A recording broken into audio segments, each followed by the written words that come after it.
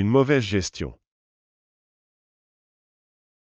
Une mauvaise gestion se réfère à la manière dont une entreprise, une organisation ou une personne gère les ressources, les finances ou les activités.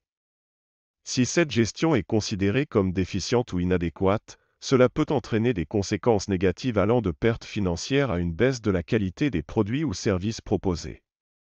Voici quelques exemples de ce que pourrait être considéré comme une mauvaise gestion. Une entreprise qui dépense plus d'argent qu'elle n'en gagne et qui se retrouve avec des dettes et des problèmes financiers. Un responsable d'équipe qui ne communique pas clairement les attentes et les objectifs à ses employés, ce qui conduit à une confusion et un manque de motivation. Un organisme de bienfaisance qui ne tient pas de registre approprié de ses finances, ce qui entraîne une perte de confiance et de soutien de la part des donateurs. Un collectionneur qui ne prend pas soin de ses objets de valeur, ce qui entraîne des dommages et une dévaluation. Un particulier qui n'a pas de planification financière adéquate et qui se retrouve dans une situation où il ne peut pas payer ses factures ou ses dettes.